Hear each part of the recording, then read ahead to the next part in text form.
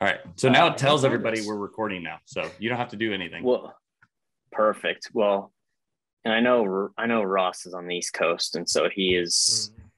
He it is uh nine nine twenty for him. he wore an orange shirt for you tonight too, because he turns into a pumpkin here at midnight. So oh, does he?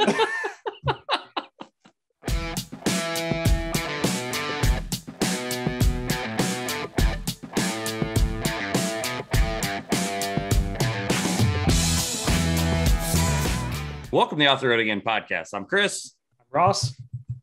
and I'm Levi. It'll make sense on my sc- anyway. It just, the pointing works for like 12 people. Uh, this is our podcast about anything and everything off road. Uh, we are still socially distanced because it's the only way we can do a show. And I barely, I, this will be 97 weeks in a row I've made that same statement. Mhm. so uh, I'm still in Kansas City, Ross is still in Connecticut, and Levi's in Kansas. But we're like five and a half hours apart. We we we are. We're probably five and a half hours apart. Um, I was actually closer to you today. Um, I was in Manhattan, Kansas today.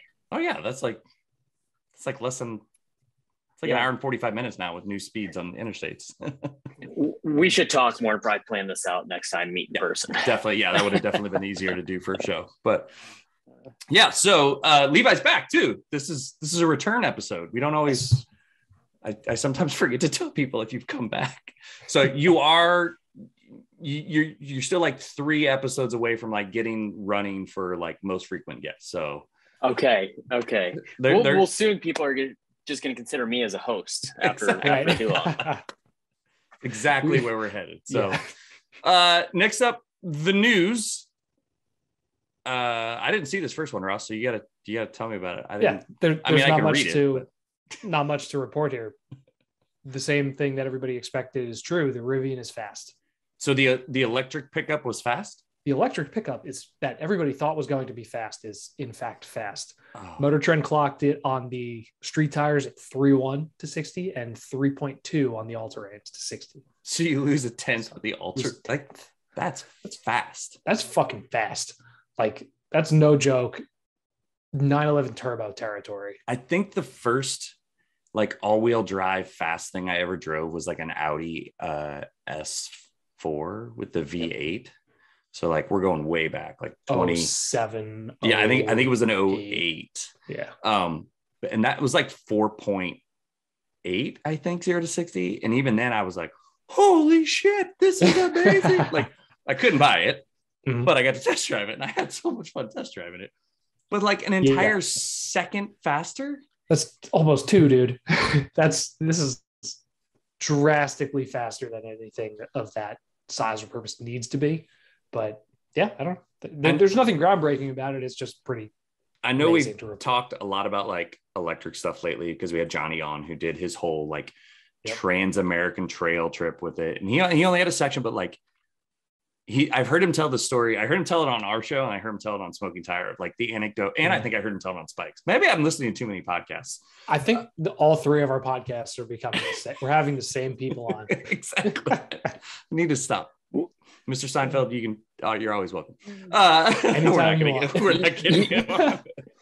You know what's crazy is so the Rivian's competitor here just looked it up um, of the Ford Lightning, and, and I'm sure because there's not a lot of Lightnings out there, same with the Rivians, but they're saying the Lightning has a 4.5 second See, and that's uh, zero to 60. That's still really fast. in the terms of internet, it's so slow, but that's so Yeah. fast.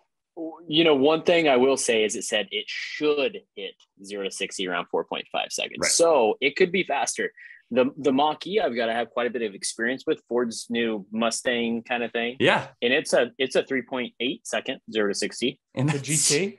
Yeah, that's in the mustang the mach-e gt yeah that's that's yeah. so, so 3.1 in a full-size pickup that probably weighs 7000 pounds It's it's it's up there. Like it's so like Is the amount of people that are gonna smash into stuff. Like there was There was- 7200 7,200 pounds. So yeah, that's that's a lot. that, of weight. that was a guess out of mine because those batteries are freaking heavy man right, and there was there was an ac- I remember there was uh an account of a Rivian like driving over something in a parking lot because somebody mashed an accelerator in a parking lot and it went up and over something. yeah. Like yep. it's they're fast. So Yep. yeah. Yep. So that's it on that front. Uh, we're there's plenty of SEMA news for us to dabble in here. You want to talk about I- the Broncos? I do because I know somebody else has a lot of experience with them on the show today. uh, and I just this, somehow I missed that this was at SEMA. Like I didn't see a picture of this, and I think it's The- awesome. BDS uh, shortened cab Bronco. Yeah. So it's a Looks two door Bronco. They close the cabin behind the driver and front passenger, put a little bed behind it, and I think it looks amazing. And also That's- row lights above it. I'm fairly certain this is the rendering too. that is definitely a computer generated image. but yeah, no, it, it's uh, vaguely reminiscent of those Jeep. What was it, JK8, where they just put a tiny little bed on the back. There's And- there's a company that makes these roofs for Jeeps. Um, is it Great Top? Uh, Desktop. on Desktop? desktop, Yep. Desktop. desktop, great Major, top. major major company. Right. And so, but they'll do these for Jeeps. So like Mhm. seeing it on a Bronco, I was like, yes. But that wasn't the most batshit crazy Bronco that was there. And again, did it not make it there? I forgot a render Well, image. One thing I will mention on that that BDS deal, I think it's kind of reminiscing more like towards the U13s. Uh, Okay. Bronco made in the in the 60s called the U13, which is essentially that, but in 1966. So I think that's kind of more or less what they were going for there. Um, and if you can find like a U13 Bronco in the 60s, it's probably worth like two hundred thousand dollars now. Dude, they're awesome. Crazy. I have to pull I up a found picture a, of that. No, no, I got you. I got you. You- oh, It's literally yeah. my job on the show. Like I That's produce. fair I enough, do fair things. That's a U13. okay. Yeah, but you can show. I mean, they they have different U13s that are actually pick Closed up in. like yeah, close close. So this is the Close- U13. Roadster. Can we call it notchback? Keep No, you the Ford cannot call it family. notchback. Well, a- and please, uh, I, it half cab. You can call it a half cab Half because cab. I'm learning about it. Maybe it's called the U14. uh, maybe it's called the U14 actually. Um, I, I'm just kind of starting to get into the the classic Bronco ones. Um, Oh my gosh. So yeah, try U14. These I that, know not what you're- Gorgeous. I know what you're talking about, and they, yeah, if that's what they were trying to emulate, then they hit the They nail on the head. nailed it Yeah, because this is great. So Le- Levi, Yeah, you already hundred Yeah. percent. you Yep. already own the classic like off-roader that I would want. I want a commando. Like that's this yeah, is they're- next. Yeah, dude. I so I just found one of these down in Oklahoma that I'm really, really trying to get bought. I'm just hoping the guy doesn't get too smart on me and actually figures out what it's worth. Oh boy, Oh So god. it's one of those deals that's sitting in the pasture, and the guy's like, "I ain't ever gonna do anything with it," and it like has Oh. like bass boat seats in it and stuff, and it's like, Mhm. perfect. And uh, so I'm trying to get this thing bought. I just Like how fast do we Trying- need to get there with a trailer? Yeah, right. oh, Why yeah. are you on this? Well, Why are you recording right now? well, thing is, it, a trailer it already has one of those camper towing bars on it. You know, on the, Nice. on the oh yeah, yeah, the flat So- toes. trailer. Flat Four toes, tires yeah, with so- air. Yep, exactly, exactly. That's so. cool. That's pretty cool. That's so great. So, So- see, that's already better. There was one with tracks. I don't. I didn't see pictures of it there. Did anybody see actual photos of this say thing? I saw photos. No. So this is. Uh, it was it was in Ford's booth, correct? I think so. But all I could find, like when I search for SEMA Bronco Tucci hot rods, it was this was the rendering. Yeah, I believe that's actually in Ford's booth or was in Ford's booth. That rendering looks like it was in Forza. Yeah. It. I like the idea of tracked things. Until I saw that episode of the Grand Tour where they put tracks on a Focus RS and everything kind of fell apart because it overheated and it wasn't meant for that because they're meant for snow, not sandy hot roads. But Oh, Yeah. Who would have thought? It'd be I'm- fun in the mountains. Yeah, It'd be fun in the mountains. I mean Ken Block has a Raptor with these on it, right? Like Yeah, honestly, if you didn't tell me that this wasn't a, a Ken Block project, I would have guessed it was a Ken Block project. Yeah, exactly. I kind of have the same vibes from the highlighter yellow to Yeah. the stripes Yep. and the kind of the goofy. But he's a he's a he's a German guy now. Exactly. Howdy, man. Yeah, Yeah. We yeah. didn't even cover that on the show. We just kind of let that exist in the world. And But we're- everybody knows. We don't have to talk about it. It's fantastic. Um, the Chevy Beast. Chevy we didn't Beast. talk about Chevy Beast either. Ugh. Chevy wants a part of the side by side game, or Is that what this is? Appeal to Yeah. like rock Yeah. bouncers and buggies, something like that. It's a It's Silverado, goofy. It- yeah, it so it's the Vin, the, big. the Vin, Vin has a Silverado Vin. Yeah. Um, Well, yeah, so- they, Six two V8. Uh, now I forgot my notes and I can't switch to them because it's on the same screen. I got you. Worry. 6'2 V8, 641 horsepower, 650 pound feet of torque, 37 inch tires, and They're pushed wider. I know that.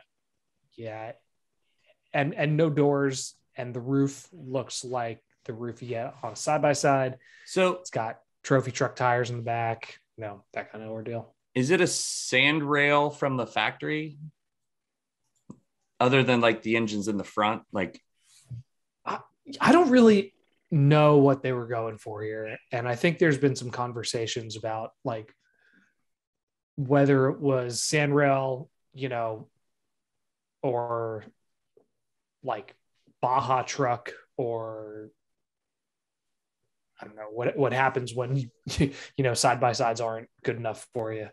Um, I mean, it, It- it is a concept. doesn't- It's not. it's a It's not they'll never build it. Yeah. Also, You know, the one thing I will say, the biggest problem with side by sides is the fact that they're not street legal. So maybe they're looking at this going, like, okay, it's kind of a side by side that you can still drive to the grocery store. Maybe, you know, um, Yeah. it's been through the crash testing. We're able to produce this to where Polaris and Can Am and all those other guys won't touch because they're not street legal.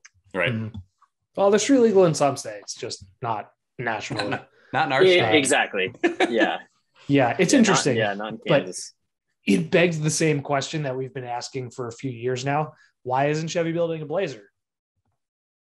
But they are. Is that could okay. Guys, can we can we talk about this for just a second? Just like how bad what what you look at what could have been because because I come from a GM family. What could have been versus what is on the Blazer?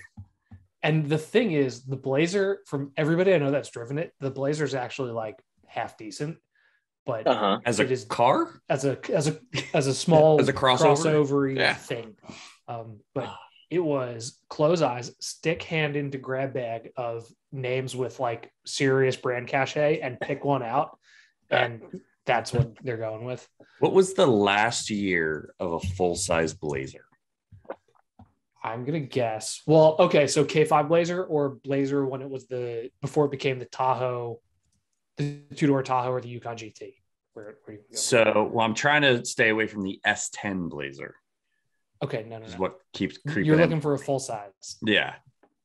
I want to say So- 93, 94 maybe. And then it became the And then it became Blazer based on Yeah, the the Tahoe. Tahoe, which then just became the Tahoe or the Yukon GT. That this- is the It seems like a Tahoe-based one. Yeah, that's the Yeah. Tahoe based one. Is it? Yes. It It is. seems short to me.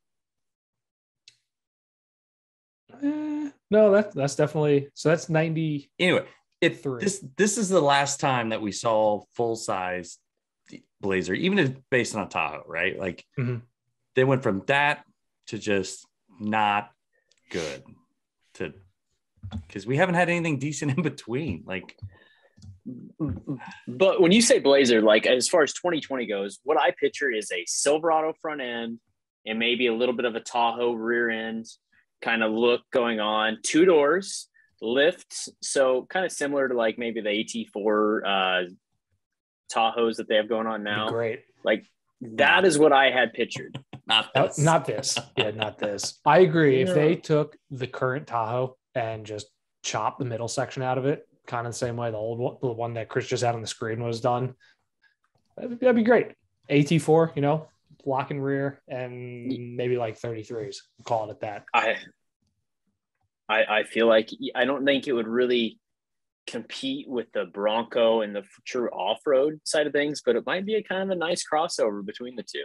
Right. Uh, It'd, it'd be better on the road, and God knows there's so many GM fanboys out there that would buy it because it came from GM and because it's not, you know, Ford or FCA. Of course, it's my guy. It's the guy I love to follow on Instagram for his renderings. He did it for me already. He he did what we're talking That about. looks awesome.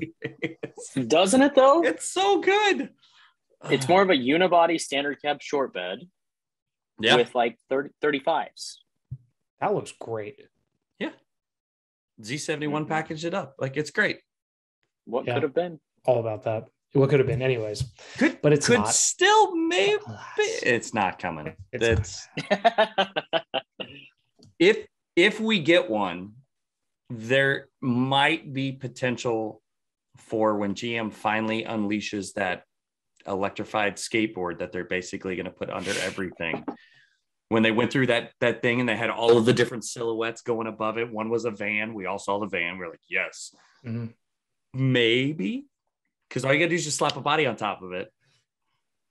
Yeah. Okay. They have the Hummer. I, I, We're not going to get it. let's start. Let's start with the Hummer and see what happens from there. That's true. So, they spent a lot of time and money on that.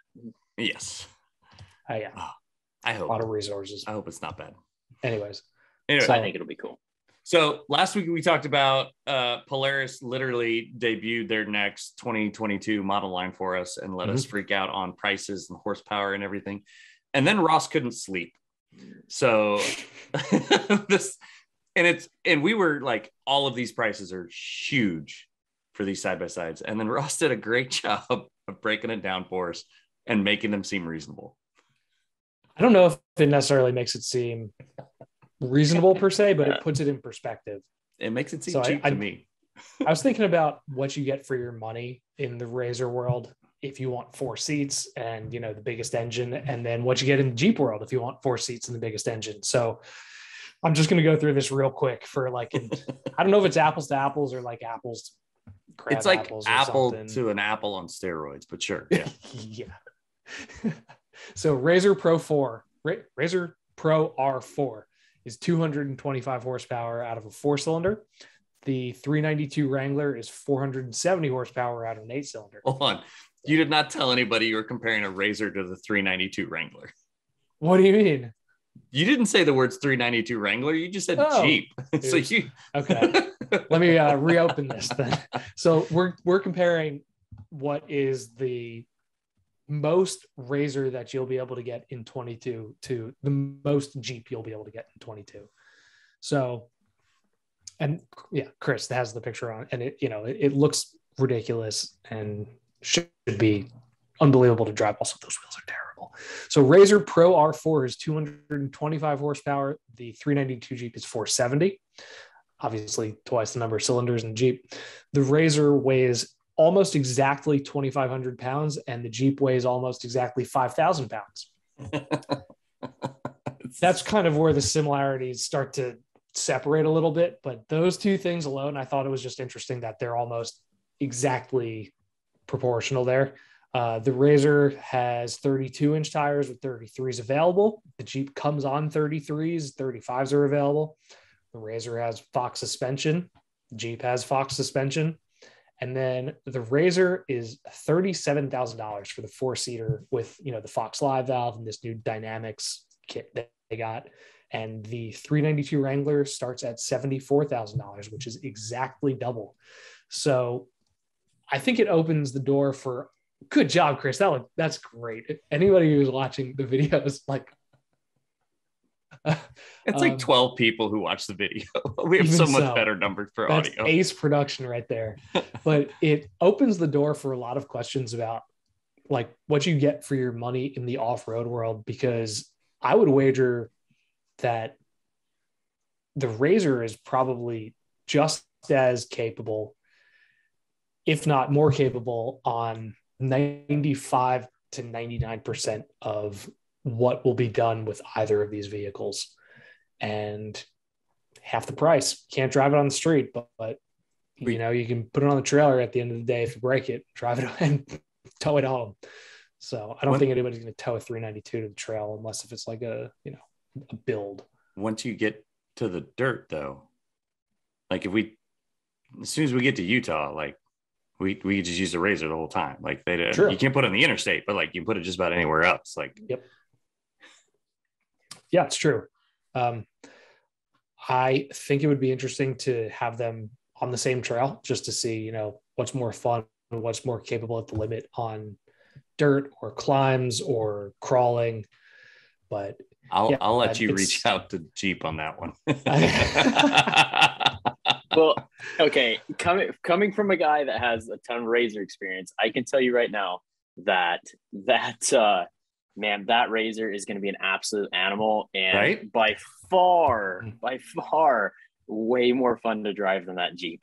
I will as far as agree. s- s- as far as speed goes, um, comfort riding in the mountains. I mean, the only thing that Jeep has going for it, you gotta it starts raining, and then those afternoon showers, you just roll up the windows and turn Yeah. your windshield wiper on. When you're Hey, in a man. RZR, you're sitting there like, oh. honestly so unfortunately I, I was up in new hampshire in october and i borrowed a RZR from polaris and it rained the entire time and it was so bad my dad's RZR uh, actually i'll know sunday when i tear it apart what's wrong with it but we took the windshield off of his and put it on this press RZR and but most of the people who live up there and do this every weekend have full windshield full doors roof and you know a screen on the back. So it's like basically a full enclosure. Some of them have heat ac so yeah, you know by the time So you do all better. that it's the same thing as driving the jeep except you can go a lot faster and and not care about the consequences in the same way. Well, and, and arguably, you know, I'm I'm a huge side by side advocate as well, but uh, I also understand kind of what the problem is with the side by sides, and I hope I'm not diving too deep into this, but I feel like it's kind of a good conversation, especially kind of for the off roading side of things. Is the RZRs are, are amazing platforms. They're fast, like so fast and so capable, and you can get a lot of, like we talked, you get a lot of uh, performance for your money, um, arguably more than the Jeep.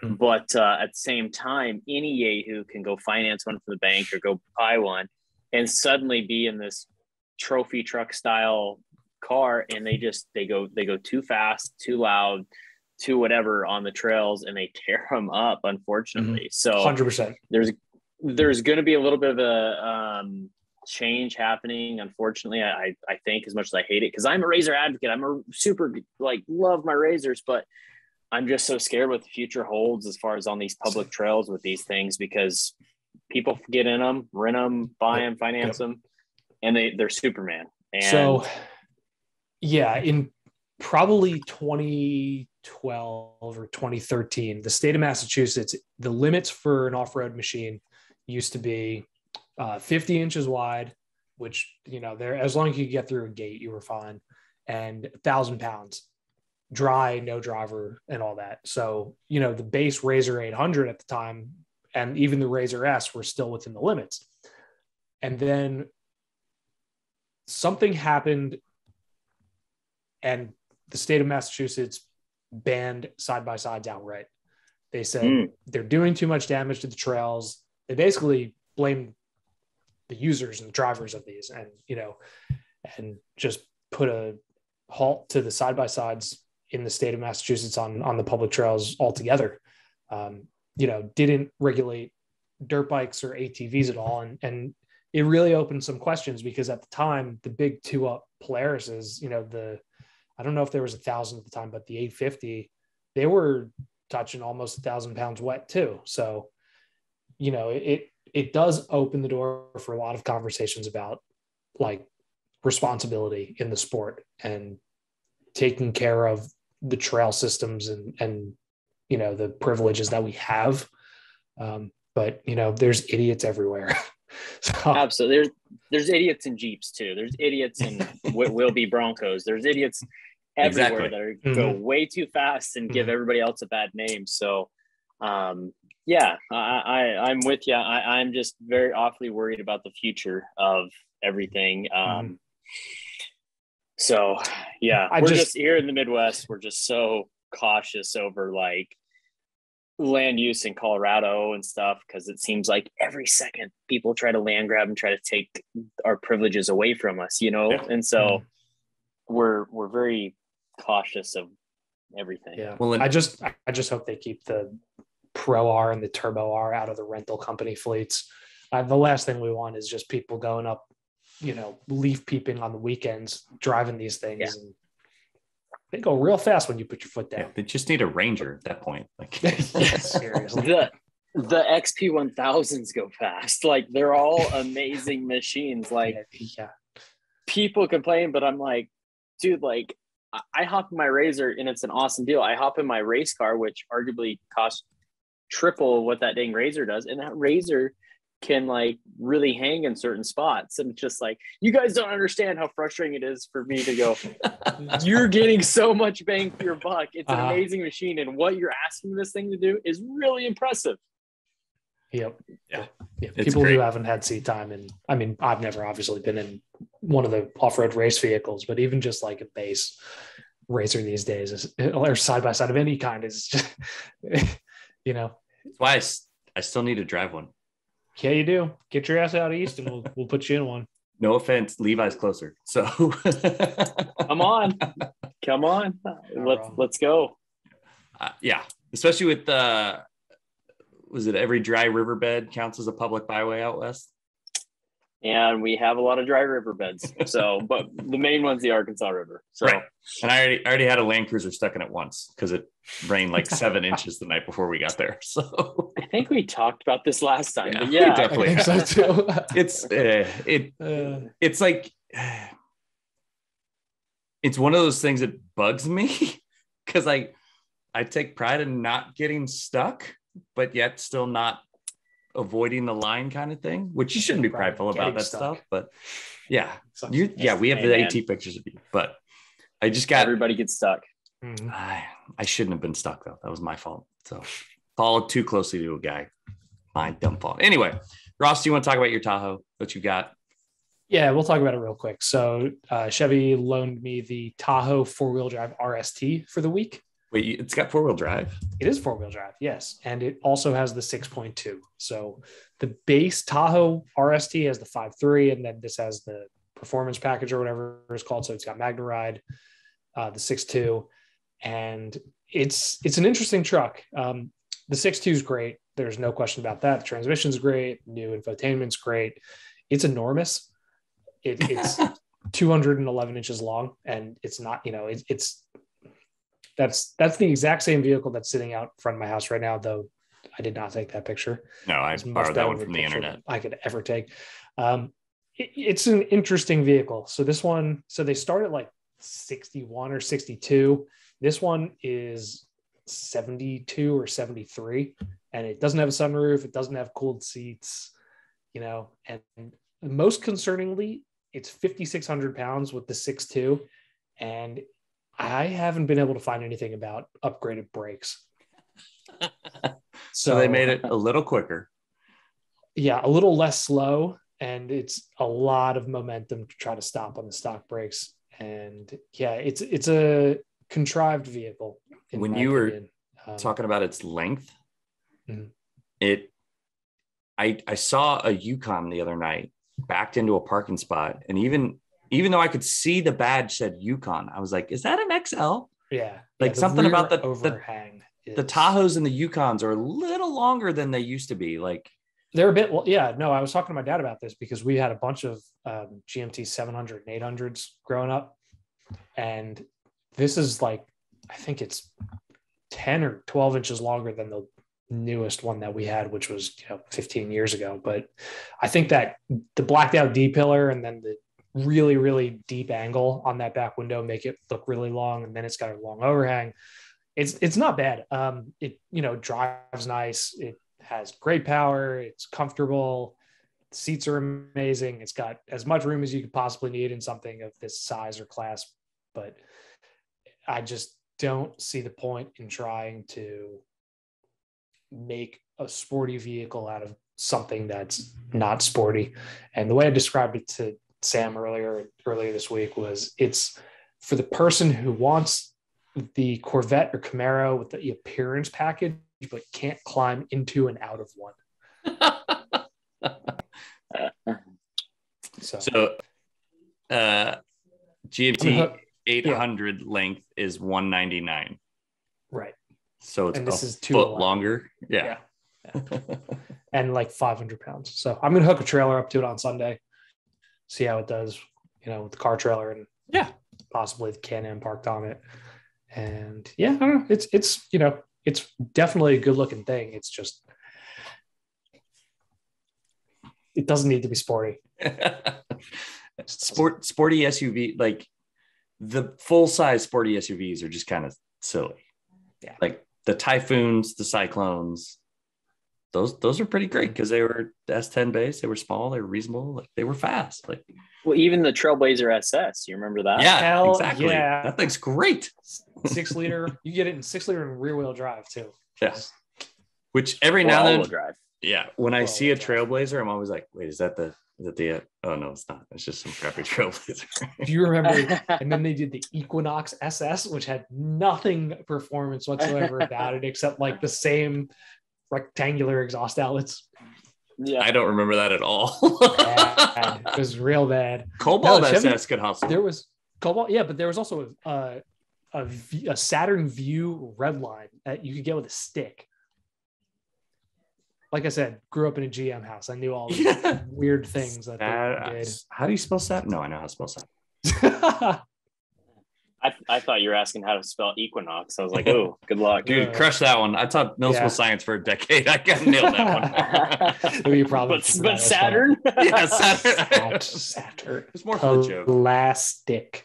Yeah. So, Uh, anyways, I still know. remember which side of the moon is waxing and waning. So it's just, yeah. yep. Same. super Um, yeah, easy. so- Wax ons on the right. It's super easy. So we'll have more on the Tahoe next week. Stay tuned for Ken. There's more? Yeah, no. Actually, no. By the time we record again, I will have uh, Grand Cherokee here. So The new one? new one. Sweet. Ooh. Okay. I think it's the L. Is it the L? It must be because they're just doing first drives of the. Yeah, the regular row. Cherokees now. Yeah, they're. Oh, We didn't get our Moab invite, Stellantis. I What's up? yes. Okay. Seriously, Yeah, especially since multiple waves of people have been out there. Like, come on. I know. It's, like all our past guests are driving the thing right now. Even some people we haven't had on yet. I noticed that. So, um, do you want to talk about what's new to you yet? Um, I guess we could. We'll do the 30 second spark notes on it. So the Jeep left The Jeep and left. has been replaced by a fancy Land Cruiser Prado, which It's not a Prado. North America they call it the Lexus GX 460. So it's uh yeah, it's comfy and cushy and it doesn't have plates yet because the Connecticut DMV is slow and uh yeah, have uh have a set of tires from Toyo for it that are going to take a little bit of effort to make fit. what color was it? It's black and uh going to get rid of all the chrome in the spring once I can, you know, paint stuff here without it going to sub freezing overnight. Is it the smaller wheel? it's the 18s that look like the uh, wheels that came on the sport edition 4Runners? gen 4Runners Okay. because they're the same wheels so I got a gray one that's close. It's not. okay that's fine it's G- everybody knows what a gx looks like they have they, there's only been two of them that's exactly what it is but imagine it's black so yeah that, that's uh Crossbot Alexis. Auto Alexis. I'm calling it a Prado. It's, it's so much more fun to say, and I hate saying Lexus. I I know you gave me shit because I, I was like feeling weird about the badge, and I just can't get over that. Dude, it's the same parts underneath. Like it's it's not new enough to be like Lexus designed their own crap. I think that started in like around 20, I think, is when the, the separation happened. Like I'm gonna get the license plate. Prod no. I'm writing that down. That's good. Sam's gonna hate me, but I love that. That's a good one. That a you- good one. Yeah. Did you get the lumbar support worked out though? Like, is it actually No, comfortable? no. The, I'm taking the seat off the thing this weekend. Okay. So So so. Ross had switched into a Wrangler and it was Ross has back issues, so the Wrangler had to go away because the truck and his back were not friendly. And being as over 40 as I am now, I completely understand if it doesn't feel good on your back. Like that's my favorite thing about the Suburban is at least my back feels good. GM makes good seats. They really do. Especially for things that they know people are going to spend a long time in going long distance. Seriously. Like my giant ass fuel tank, my seat is comfortable. Let's go. Yep. Like Yep. My Avalanche had a 33 gallon fuel tank and the most comfortable seats that I've ever sat in still to this day. and a long wheelbase. And long wheelbase. Why does So, nobody tell you what, offer an Avalanche? I, I I'm not a one upper. Please don't consider me that. but I put a Titan a Titan tank in my Duramax. Okay. That- that's what my dad did too. 67? Yes. Uh, 50. Mine's a short bed, so 50, 52, I believe, 53. So talk about covering some distance. Um, but you get you got to take out a loan now every time. It, it's kind of a big process to go to the go to the bank and then go fill it for fuel. You So- hit the hundred dollar that- cutoff that- and then go back to round. Yeah. Yeah, Oh. so that's the only that's the only downside to it. Uh, but of course, anytime we're towing, I'm getting like nine or eight, Right. so it still goes by fast. But um, because that truck was produced with a 25 gallon tank, So Yes. silly. like what? Oh, So so, silly. silly. I'm now on their website browsing for my make and model. yeah, no Titan On Titan tank, yeah. they It's- they only do diesels Oh. now, and there's got to be the liability behind that. I'm guessing. Yeah. Um, yeah, they're just they don't produce gas. they don't I corrode don't- with biodiesel though. Like Yeah, I don't here's the thing though, like as much as I'm interested in like, yes, a bigger tank, the the, the kids have to pee too often. Like I on the highway, I think I've seen it get almost I think it's been over 600 miles when it's like, all right, you're full up. Like you go 600 miles, like Mhm. That's all amazing. Four of them are gonna have to pee seven times by the time I get to the end of that tank. Like, but you get to pick and choose where you fill up. With That's that, true. With that Mhm. luxury. yes, Mhm. it was definitely. I, didn't- I don't have to stop that shady one that doesn't look like it's had decent fuel in Right. forever. Like I can Right. keep Yeah. going. There were definitely a few times when my dad had the, t- the small tank and the diesel before he replaced it that like we definitely showed up at a few stations that didn't have diesel and we are like, oh shit, this is like cutting it real close. Yeah, like you carry five in the bed just in case. Now we carry five of DEF. So Oh, is right. Anyways, Wait. Yeah. do you say it DEF? You don't say deaf. I don't know. This is regional colloquialisms here. Like uh, out here, it's what do you call a sandwich? a sandwich. Sandwich. Not not a hoagie, not No, a grinder. that that one I Just know. That's sandwich? pure Okay. East Coast. We we have sandwich All right. shops here. We don't have. Del What, what's a hoagie? yeah. Subway. So a sandwich. exactly. So a sandwich. Exactly. Anyways, moving on. Chris, speaking of uh, I'm still excited. I'm sorry. Levi, I got new wheels for the Suburban. I don't have them on yet though. Um, I got 18s. It's got 22s on it, and they are so bad because it's like oh, this much rubber all the way around. Like, and they're Michelin's, like they're good tires, but I am so ready to get new rubber. Uh, sideball. so I want sideball. let's let's let's get you some new rubber. I happen to know a really good tire company okay. that maybe uh sponsors the side of my race car Hey. get him at uh, Yokohama Tire.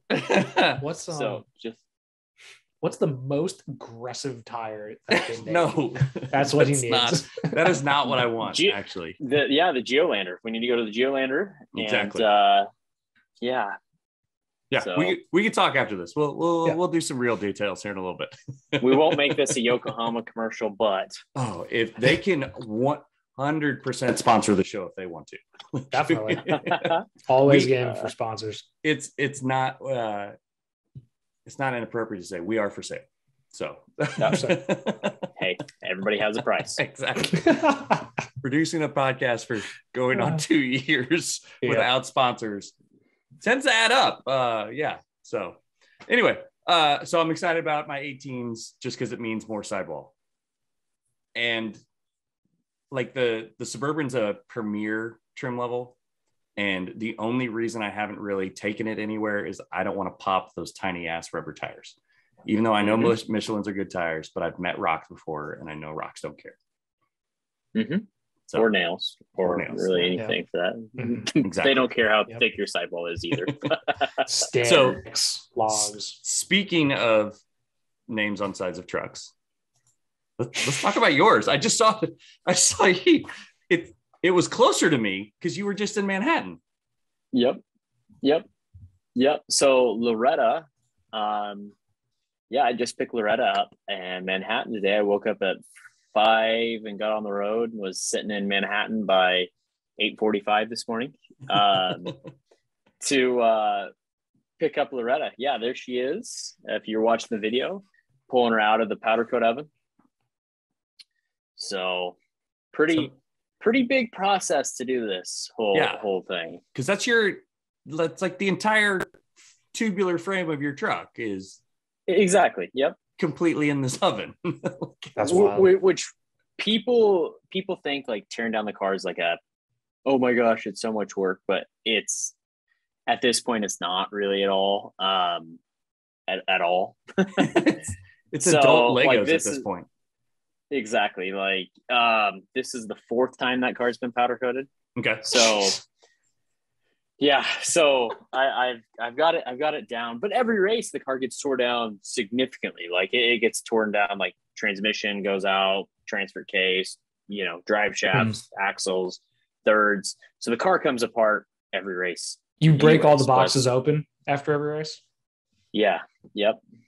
Yep. Just in most of the time I find nothing wrong, so it's a little sad, but yeah. So yeah. so that's what the car looked like prior. Um, oh shit. the car the car went into an oven this time and it baked all the powder coat off um then you go you go by and you sandblast it but um there was a couple months in between this and powder coating it so it got really rusty um just through humidity and traveling on an open trailer and this and that so we actually had to go back and re-sandblast it again which was no big deal just get all the surfaces prepped and cleaned and uh yeah got a new new coat of powder coat fixed a bunch of tubes and fixed a bunch of stuff and uh, now it's officially ready. The chassis is for uh, 2022 uh, King of the Hammers.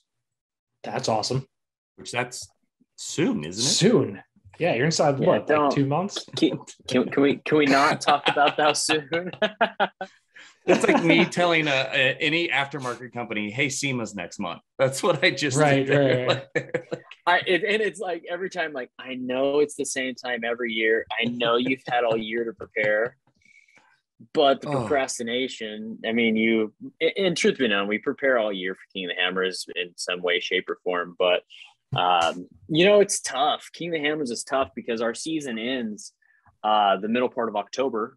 right? So not even really, eh, not caught quite 30 days ago Yeah, it's about a month ago. and uh, yeah about a month ago and uh, we're now already 90 days away from our first race and on top of that we have christmas thanksgiving new Yeah. year's trying to spend time with family Yeah.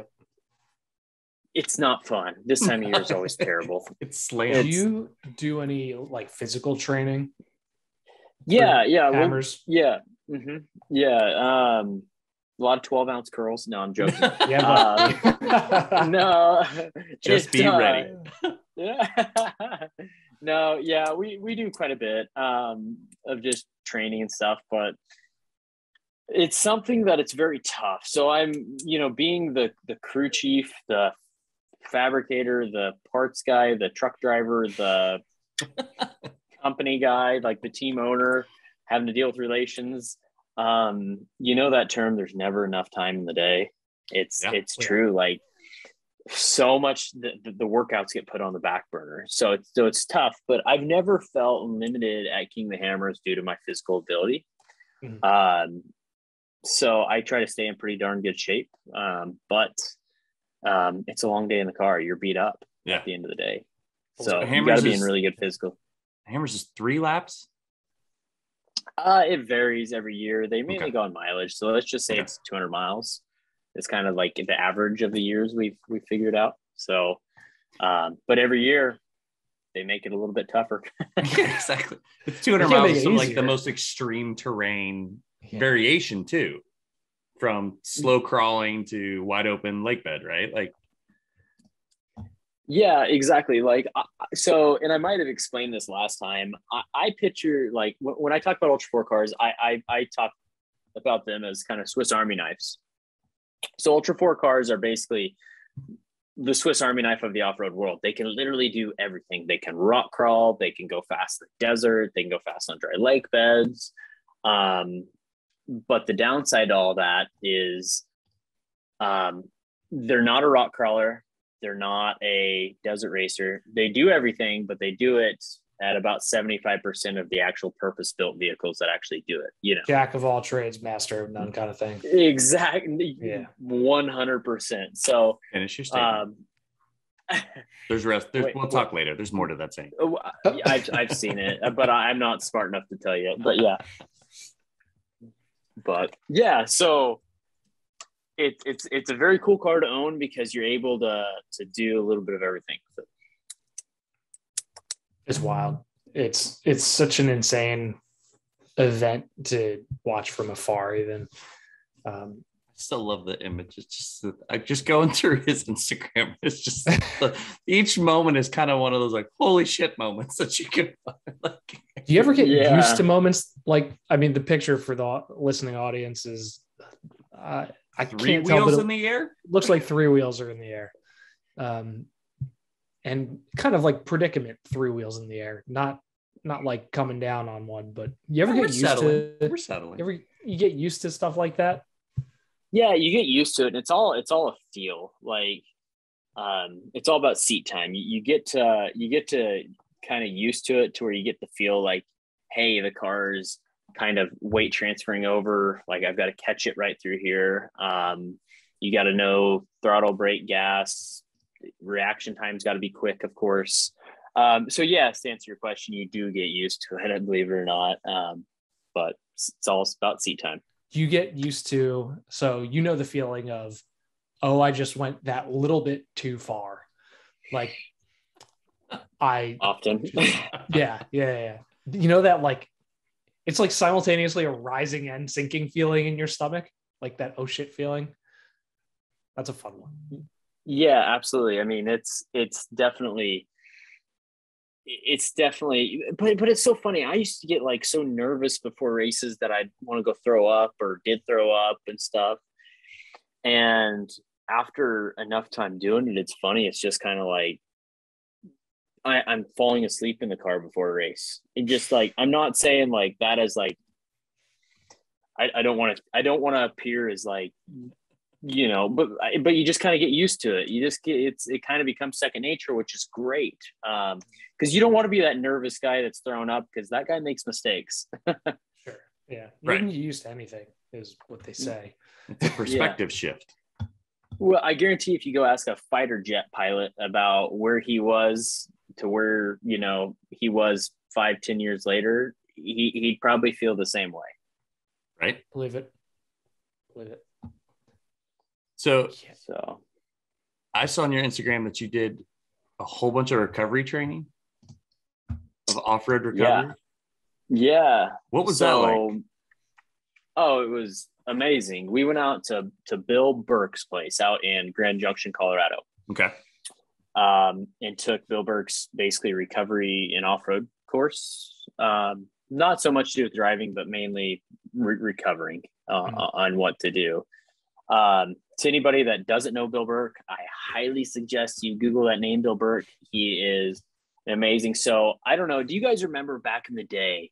Seeing those camel trophy Land Rovers, like, Oh, like yeah. the iconic like 100%. camel Oh cigarette. Yes. you know they're floating them across rivers they're having to do stuff. So I, i'm going to get the years wrong. I want to say early 90s um, bill applied to to go to this camel trophy. Um, and they accepted two people from every country. Yep.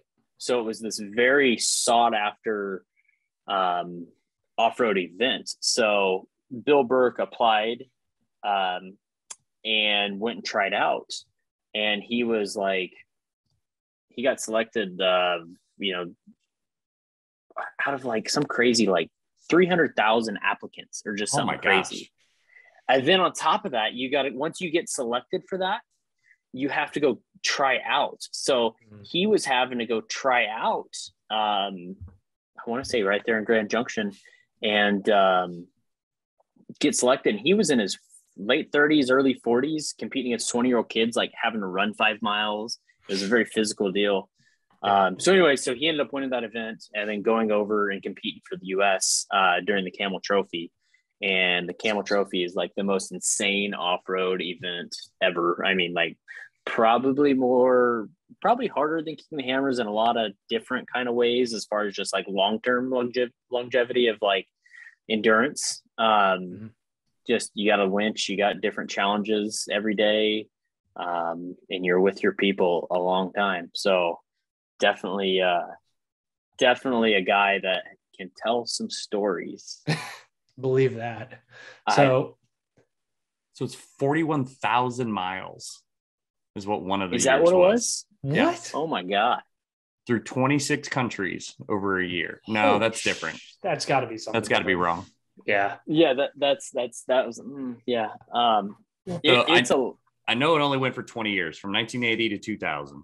I know that much. well, and I imagine the whole cigarette company money with doing the Camel Trophy, and you can't have that. Um, Bill talked about why it failed and what went on with it all, um, and and there was politics, just like everything else in this life, um, of of why it ended up stopping. But uh, it's something I feel like they should bring back. And Dude, it was in I- some of the most insane places Brazil, Yeah. Sumatra, Papua New Guinea, Zaire, Brazil, Borneo, Jeez. Australia, Madagascar. I don't even know how to pronounce that one. Sulawesi?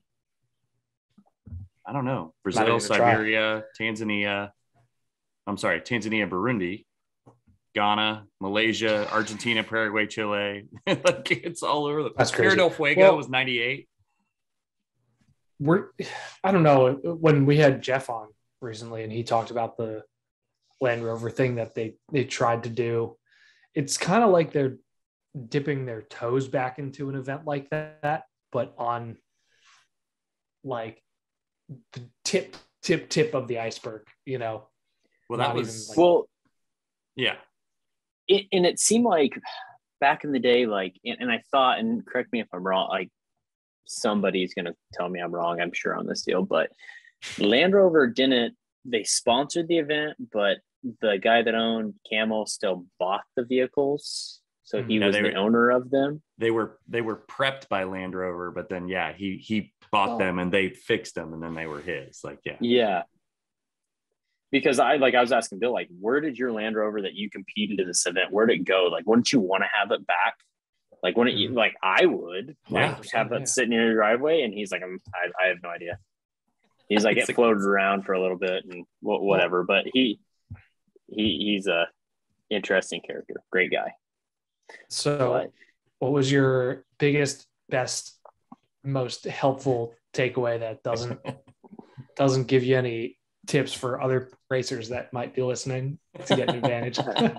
you, you know, um, so basically, I went there um, representing Ford. I've been getting very involved with uh, Ford Motor Company on um, training their engineers and certifying their engineers so they're able to go test vehicles um, on Ford's ground in in Ford's vehicle. You know, it's just the game of kind of the liability side Mhm. of things of Yes, they've got to have safely. somebody s- safely. I, I have to sign off on this person. So uh, I've been getting more involved with that. And uh, so they wanted to start basically a section of their training of off road recovery.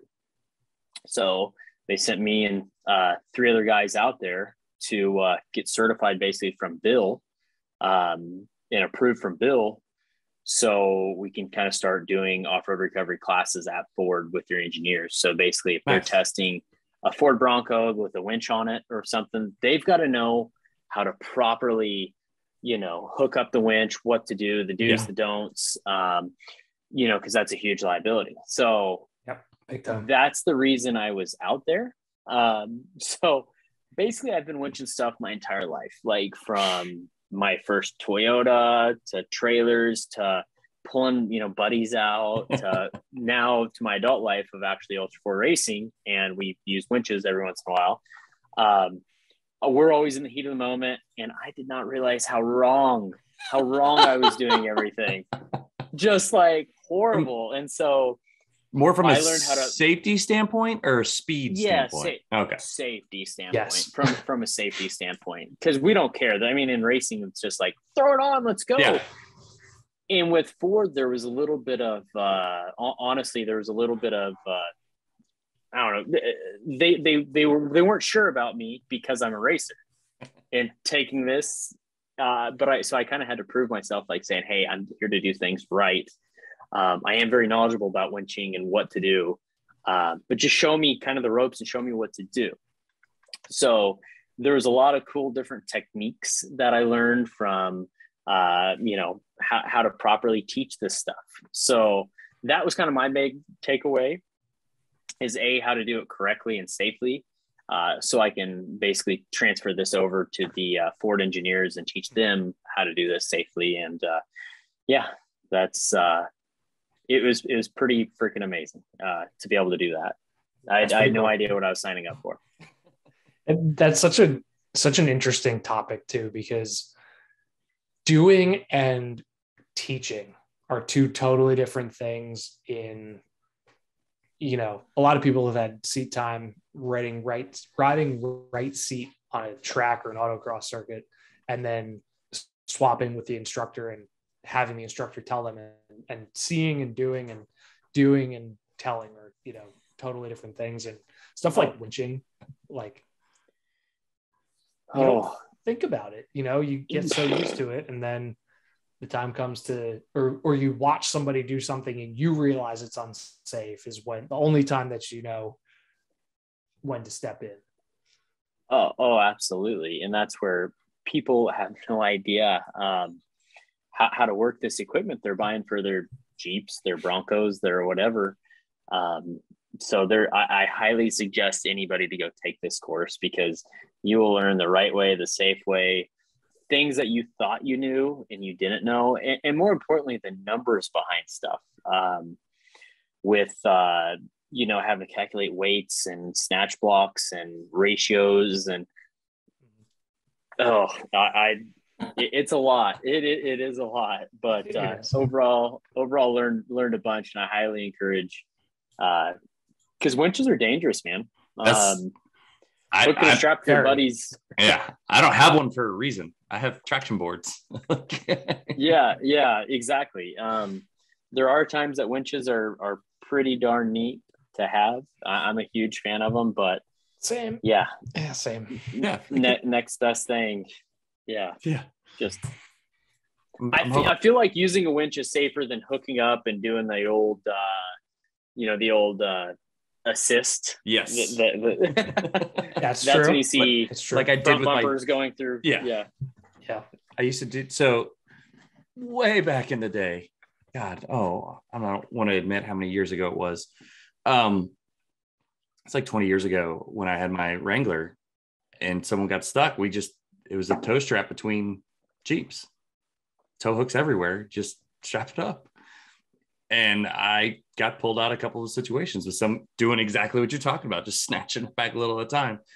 And I flat towed a buddy's Wrangler to the shop with just a tow strap and him, oh yeah him hopefully stopping. But oh my God, it was just the sketchy stuff we did.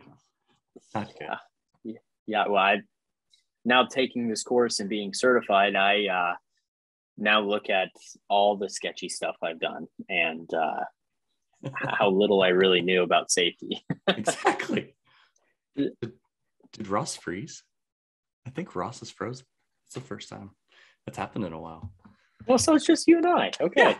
So we can keep talking about Broncos. So I have a, I call it my lukewarm take because so in a period of a couple of days, I drove a 392 Wrangler I drove a, a Bronco with the two seven and the 10 speed, and I drove a Bronco with the two three and the seven speed manual. Okay. Just real back to back to back. I was hopping in and out of stuff constantly. Um, the 392 Wrangler was like 80 grand. I think it was 80, 83.5 that I drove. The 27 Bronco uh, was in like the 50s. And my my hot take is that like the Bronco was like 80 to 85% of what that 392 Wrangler was, but without spending $84,000. Yeah. Like I really, really enjoyed it. And then the one I had, the manual, I, I, I used that crawl gear. Mhm. And I just pointed it uphill and took my pop the clutch and didn't touch the accelerator, didn't touch anything. Just went right up. Yeah, just sat back and I just held the phone and we took video of it going up the hill. What? So, what was your honest takeaway of the Bronco? What? What after you got to drive stuff? I know it was in a hurry, but I mean, what was your honest your honest takeaway with it? So the f- first thing I kind of paid attention to when I got into it was so the red one I had was a Wildtrak and it had the hard top and how much noise the hard top was making behind me. Was it a production or was it a pre? It's pre-pro. It, everything was Yeah. pre-pro. Um, so then the and I know that roof is a big sticking. The hard top's a huge sticking point for the Yeah, Bronco right now. yeah. Like it will eventually be remedied. I know Ford's not going to let them run around making squeaks. That one squeaked. The other thing I noticed on the Bronco, which again was a pre-pro thing, and both trucks were pre-pro, and they did the same thing. When you open the driver's door, and it since it's frameless, the window's got to come down a little bit, right? Well, it wasn't doing that fast enough. And so, like, as I was doing it, it was still catching a little bit. So, when I would open it, the whole driver window glass would just be sitting there wiggling back and forth. But again, like a little bit stronger rubber to help support the window there. Like, just Yeah. again, pre production truck. Well, out of all the issues that I've kind of had, you know, over you know the this year with the uh, the Bronco, the the with the pre-production stuff that had been fixed, and that that's one thing that is very important to remember because these things have been rode hard, put away wet. These pre-productions, Exactly. um, they're they're they were still working out the bugs with the pre-production. Um, it was in what you just said. I never had one stick. I had one stay open Okay. um, and then obviously some of the top issues. Yeah. Um, other than that, I had, I mean, we have beat on these things hard. And, and I know I probably seem like this big Ford fanboy, but I'm a contractor and I've just spent a lot of seat time in the Bronco. Yeah. Um, I don't work for Ford. If Jeep called me tomorrow um, to say, hey, we want you to to uh, do what you're doing for Ford for us, I can say yes. Yeah. Um, so It's a I, 10 I, I'm able to right? form. Yeah, exactly. So I'm really able to kind of form uh, opinions. Yeah. And I am just so floored about that dang Bronco. I mean, it is Well- seriously like the a- roof a thing and the door thing bugged me. But as soon as I got in it, like all of the diff locks were push buttons and it was quick. The hero easy. switches. Yeah. Yep. All that the the trail turn assist where where it drags a wheel that basically Yep. tights, and then he's like, apply way more accelerator than you think is necessary. Like, really? And he's do it. I'm like, all right, I'm gonna do what you said. I floored it, and that thing just pivoted. I loved it. Like it was great. It's amazing. Yeah, Yeah, it's an and- amazing feeling. So I I liked it a lot. I think we we joke all the time that 50 is the new 35 when it comes to new car sales. Like it's not that big a deal to just drop 50 grand on a Bronco. Like it's Yeah. Which the the Yeah. Tahoe All Ross was talking about earlier was 73. Like what? Like Yeah. Yeah. What I is money anymore? so What is money? Inflation. exactly. Yeah, right. Just Economics, pish posh. just let me Yeah. finance it for 20 years. It'll only last seven. It'll be fine. It'll be no wait, that's I'll not Finance in some of the 20 years. I I mean, my children might be paying for it, but exactly. you know, They don't need to know. we took it out of their college education. It's fine. Oh, What? 50 grand's not buying much in the college. We're supposed to be saving so- for. Uh, I'm not 50 grand's not doing anything. Like it. No. That's I'm not first saying it's going to pay for it, but that will pay for books at a. books. The books, dude. I went to K State. I remember paying books. Those things were expensive. Ugh. it's Yeah, a my, I'm, I'm, I'm a community college guy, so uh, dude. I we didn't have to pay for those. we've we've told all of the kids like the trades are real. Like if you want to go Mhm. Trade route, like we're on board. Like we're not going to force you to go spend a bunch of money in college. Like go be an apprentice. Like learn something. Like so far, none of them have looked like they're leaning that way. Which is not helpful. Fair enough. yeah. My oldest the other day was like, "Hey, Dad, what's genetic engineering?" I was like, "Holy shit, I'm gonna be paying for college for a long time here." Genetic engineering. Just remember, they're gonna pick your home. So exactly. This is true. so just remember that. And and if they're making a lot of money, then the nicer home you get, Chris. So we we we uh we want to preempt that. Uh, I've been looking at this trend called barndominiums. Oh yeah. Fuck is that? People that take like shop buildings and take a third of it and make it a, or two thirds of it, make that their family home, and then keep the other Mm. third shop. So super cheap to put up, and then you just spend a lot of money doing the inside. House. Yep, shop, Shop house, It's- house. It's like glamping for house ownership. yeah, But but okay, so he- here's here's my deal with that. I know we're we're probably getting off subject here. we're good. It's, That's it's what we do. you get metal siding that's going to Yep. last forever versus Exactly. regular siding. Um, you get to have an indoor basketball court. That's cool. Yep, because giant Mm. roof. Yeah, your tax you're paying taxes on one building, Yep, not two. one big building. Yeah. But yeah, just the, just in my opinion, the the the cost has got to be driven down significantly than the property tax and everything that comes with it. So Right. And then if I run any type of livestock, I pay ag taxes. yep. And I can and they don't even have to be my livestock. I can rent the lot the land and and still count as ag. Just get some sheep to mow the lawn for you and they write it off. Oh man, this is Kansas. I gotta get a cows. Yeah. you can't Yeah, be we- the you can't be the one guy with sheep on his land. Yeah. Yeah, that's that that that that must be an East Coast thing. The sheep. I, It I is actually. Is I it? know. I I have friends in New Jersey with Oh, you told me. Yeah. sheep. sheep. Uh, Anyway, wow, I didn't see that. Anyway, completely so- off topic. This is what happens when you drop out and come back in. Yeah. Uh, What you guys talking Actually. Yeah, we're, we've kind of talked down through most of this. King of the Hammers is coming up, and then the 2022 season's there for you, right? Yeah, um, it's a big year. Um, you know, one thing that is uh, really, really cool that you'll see dropping hopefully sooner than later, um, but not in time for King of the Hammers, will be a new car, Ooh, Ooh, a new Ultra4 car. ooh. So fun. What? I What- can send you some pictures on the side, but nothing can be released to the public. Okay. Uh, I, I'm so down for that. It, it's it's it's an all new car, um, all new platform. Um, I really wish that we were able to race King of the Hammers in it, but you don't want to be taking an all, an untested car into King of the Hammers. okay. So That goes one of one ways. does King of the Yeah. Hammers count as just like a because it's still the Ultra4 series, but does it just stand as its own? And then the rest of the season? Yeah, essentially, yeah. Okay. You don't have to, and there's no rule with King of Hammers that you can't race a different car, race to race. Okay. Um, so I, I can switch cars mid season or whatever.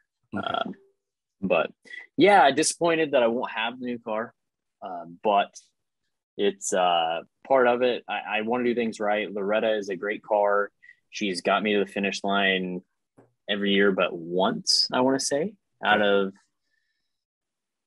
2014 was the first year. So That's an old Yeah. race car. Yeah, it right. is an old race car. It, it's like cat or dog years or whatever. Exactly. say. It's like times seven. It- Like, Journalist It- it- it miles is. yeah. It- it- it- Journalist miles is It times is- 20. times twenty. It's Times times 20. twenty. Yeah. Journalists look terrible at cars. Oh, the worst.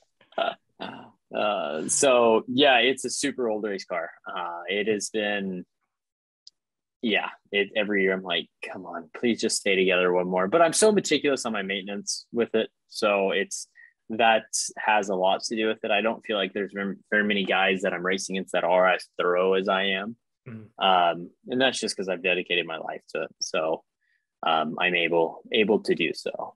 So But- do you have another L female name picked out for the next car? Well, we've we've uh gosh dang it. So I've talked about calling it Linda. Okay. Um Which makes me think of a tiny kid standing in someone's kitchen going, Linda, this is not your house. that 100% no Linda Linda Linda listen. Listen, Linda, That- listen. So that's when she's acting up. I'm gonna have to say Linda listen. Um or or I might switch it up from this one and, and not stick with the L names. I'm thinking about Vanna, like Ooh. Vanna White off of Wheel of Fortune. Mm, yeah. Just kind of a classy old gal, you know? Yeah. Is that the vibe you're going for on this one? That's the that's the that's Yeah. the vibe I'm going for. I just don't know that I can actually call it Linda. So I'm I'm, I'm thinking Vanna.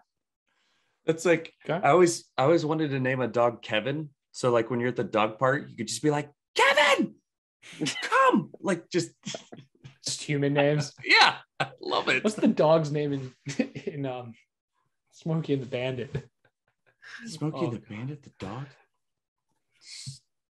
Name. Oh man. The one in the semi, He's is that what a you're talking about? yeah, I was just gonna say Fred. snowman, but I know that. What is it? Fred. Fred. Yeah. Yeah. I have a good Hank. I have a Reese. There you go. Like that. Yeah. Re- He's playing He's now. blurry. He's yeah. Bl- It's because kids walk by naked sometimes. So we had to start blurring the background. Gets awkward. It does. I got tired of uh, having to cut does. stuff out. Yeah. Yeah. We we had the same issue with Ross too, but he was the yep. he, he was the one. I'm like, Ross, you gotta Yep. keep keep it G, man.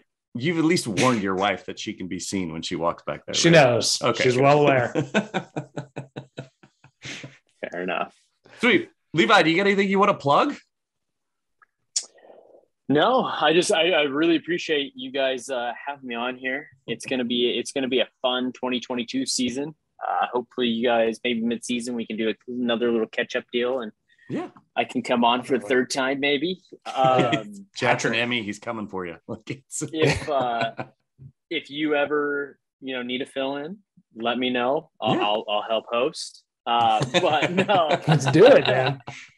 I, I I really really uh, appreciate you guys having me on. Yeah. Uh, but definitely excited for the uh, So- 2022 season. Ultra4 kind of goes around. Was it most? Is there's a west side and like an east side? Yeah, so there's there there's actually getting to be even more. So there, there's a north, there's a west, north, and east. Okay, And in east isn't as far east as you really think it is. It It's is like- like, Kentucky.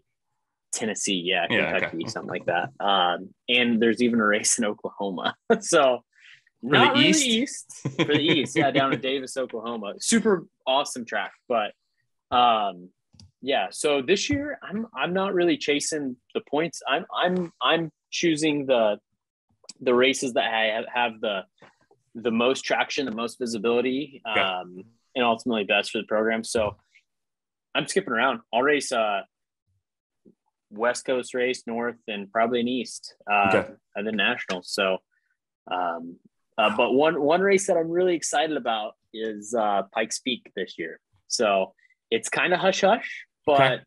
not that we're talking about it now. But uh, I just submitted my entry form Okay, to be Oh, yeah. racing uh, Pikes Peak this year, When is That's that? awesome. When is that supposed to be? uh, into June. June, yeah, right? it, I think it, they've got it back in the summer now where, Mhm. where it belongs. Okay.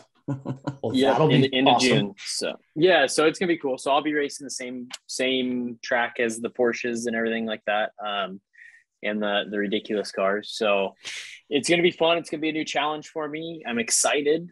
Um, one thing that is uh, that is gonna be just kind of sorry if You're all right. You're my good. uh, my phone went to twenty. So one thing that is kind of exciting uh, is that uh, we're going to be using the same Yokohama tire through all these different races. And again, so I'll be rolling up Pikes Peak on 39 inch Yokohamas, oh, that's And, gonna be uh, the best thing but the car will be slammed and it's it's pretty salty. It's about 850 horsepower. Okay. Um, so I think it's going to move. I think it's going to be okay. You know, all wheel drive, going to be 39. Jesus. pretty pretty quick. man. That's gonna hey, steal. listen. That'll steal the show. This would be so great. 39s 39s are the new 33s. yeah. Uh huh. Sure. That's that's solid. That's solid. 39s and new 33s. Well, Sawzall stock just went up. Anyway. What, do they, what do they call those fender rollers? Is that what the? yeah, that's not gonna. It's not gonna get six more inches of tire under there. Uh, There's a saying that the Sawzall solves all. So it does. Yep, it does. It does. I need to. Get a anything will new fit one. 39s if you try hard enough. That's right. What's like the Arctic gotta- trucks that are running 44s and Yeah, that's, that's those are to drive across glaciers. Like that's not. Anyway, that's not going up Pikes Peak. well, sweet. I'm gonna wrap it up. Uh, you can rate and review the show on iTunes. Please, please do so. It's been a hot minute since somebody has, but I know I can see the numbers going up, guys. So somebody do it if you're new to us recently. That'd be nice. You can like and subscribe on YouTube. You can watch. You can watch Ross fall away and come back. And the auto wheel people didn't really know he left, but we talked about it, so they did know. Sorry. Um, you can follow Levi on Instagram. It's at Levi Shirley. Facebook too. Yeah, I think it's uh Levi.p.shirley on Facebook Okay. for whatever reason. because it's because it's the internet and things are weird. Yeah. Mhm, Makes sense. Absolutely.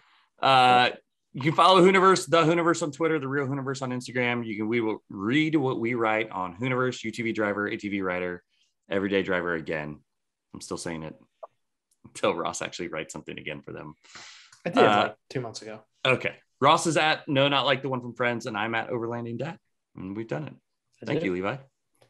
Well, yeah. Thank you guys for having Thank me. you, man. Sweet. Fun as always. And I say always because it's been more than once now. Yeah, Yeah. absolutely. And I'm glad you're not falling asleep. It is is it 1038 there, Ross? Or- 1038. Oh boy. Yeah. Didn't turn into a pumpkin yet. No, No,